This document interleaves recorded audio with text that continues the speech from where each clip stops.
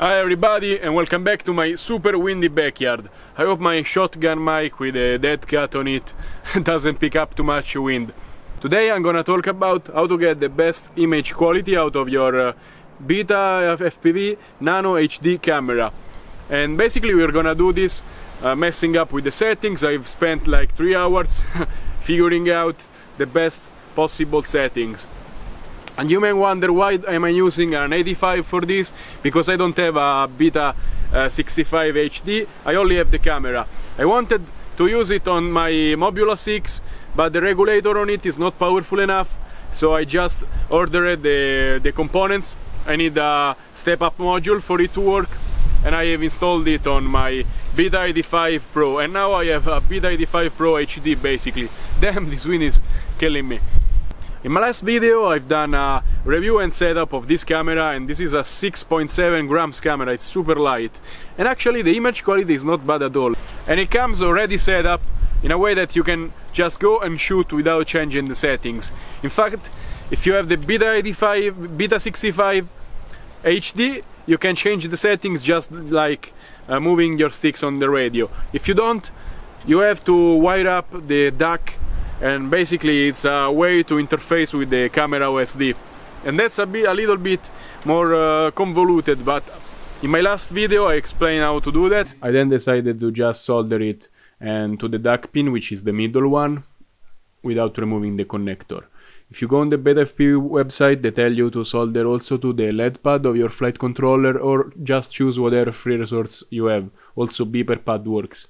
And follow the instructions really carefully because it tells you that you have to go to your CLI and copy and paste basically the settings for your uh, DAC to work. And you will see now it doesn't work on mine because I am in Betaflight 4.0.6 and you need uh, 4.1 at least. And you press uh, enter and then just uh, write save and press enter again. To interface with the OSD of your camera you have to first of all remove the SD card from your drone. Otherwise, it starts recording and it doesn't let you get in the OSD. Then you wanna plug in your uh, your drone. Of course, your remote has to be connected, your radio has to be connected, and then you want to do this move like this. You want to I move the antenna. Okay. You want to center your throttle like this, and then both center. You go like this, and then you go like this or this you can also move around so it picks it up. And this way you will basically enter into the OSD settings and you can release this and you can navigate like a normal menu. It's easy to get the hang of it. Now let's see what's inside the menu. In the OSD settings you can change name of the craft then uh, display stuff like time and voltage. On your FPV camera OSD this is not Betaflight OSD save and exit on video you will change resolution and this is our, the revolution available. Loop video, it does uh, a video every like uh, 3 minutes and auto recording is important to leave on. Camera settings you will leave exposure at 0, it's the best. Metering multi, FOV high is the best. Screen flip you decide and light frequency 60 for US and 50 for Europe. This is to avoid flickering with the uh, artificial light. Image effect here uh, everything is a 5 stock. I suggest you, if you want to do some post editing, to put saturation at, at 2, sharpness at 2, contrast at 3, brightness at 5. If you want, don't want to do post editing, I suggest saturation at 3, sharpness at 3, contrast 3, brightness 5. And that's the best for me. And as you can see, changing these settings will change also your FPV video feed. And it will get a little worse, but the image quality will get so much better and that's the compromise you have to be making for it. Save and exit. TV system, uh, NTSC works better, I left that. And system settings, uh, auto boot is important to leave on, and language you select, and you can format your SD card. Don't click on system info because it will lock you out, I don't know why. And then you can factory reset and save and exit. That's it. Uh, also TV ratio, it doesn't seem to be changing much. But then if you wanna have the best video you have to compromise the FPV quality. There is uh, no way around that. Maybe you should use two cameras but that's not possible with something like that.